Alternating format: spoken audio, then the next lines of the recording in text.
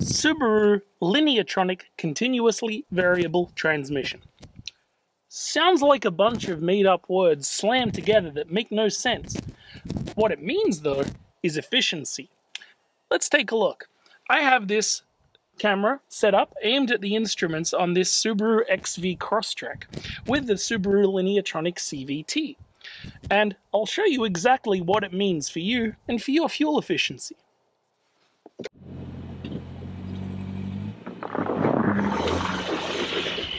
The heart of the Subaru CVT is a pair of hydraulically operated adjustable pulleys, which vary ratio automatically depending on the driver's throttle input, vehicle load, and road conditions like hills or ramps.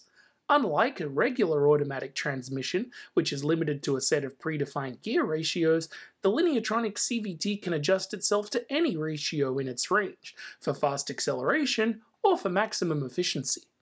But perhaps the best way to understand the CVT is to see it in action. Here we're accelerating to 60 miles an hour from street speeds. Watch the tachometer on the left to see how much the engine accelerates, and the speed on the right, which you'll see gradually climb to 60 miles per hour.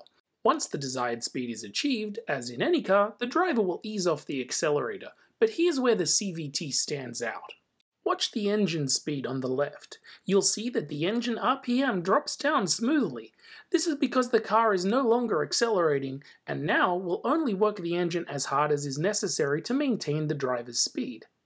The CVT is standard equipment on the XV Crosstrek Hybrid and is also available on Subaru's Forester, Impreza, Outback, 2014 Legacy 2.5 models, and will be standard on the all-new 2015 Legacy with both 2.5 and 3.6 litre boxer engines. The 2-litre turbocharged engine in Subaru's 2014 Forester XT was the first car to feature a performance-oriented version of Subaru's Lineartronic CVT, which will also be available in the all-new 2015 Subaru WRX for the first time. These performance models, as well as most other CVT-equipped Subarus, feature a manual mode, with 6 or 8 speeds selectable via steering wheel mounted paddles. Let's take a look at how it works. So I've just moved the shifter into the M position. I'll show you how it works.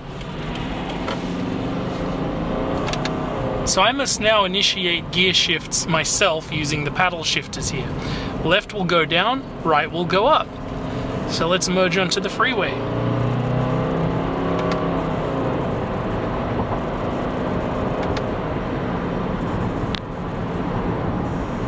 While in manual mode, the CVT will allow you to hold on to higher revs in situations where it might not do so itself. For example, if you're anticipating a lengthy overtaking maneuver and you want to have the car in the power band before you change lanes. However, the CVT will not allow you to damage the engine or stall. For example, if you get into the engine's red line, the CVT will shift up a gear, or if you're in danger of stalling, the car will shift down a gear to prevent it.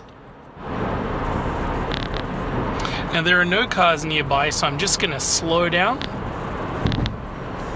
And if we imagine that there was an invisible car that I had to overtake, I can drop to third go around the car, jump back in, and go back up to a higher gear for better efficiency. To learn more about Subaru's continuously variable transmission, why not experience it yourself at Schlossmann Subaru City of Milwaukee? We're at the corner of South 27th Street and Layton Avenue in Milwaukee, and you can call us anytime at 414 281 9100. That's 414 281 9100.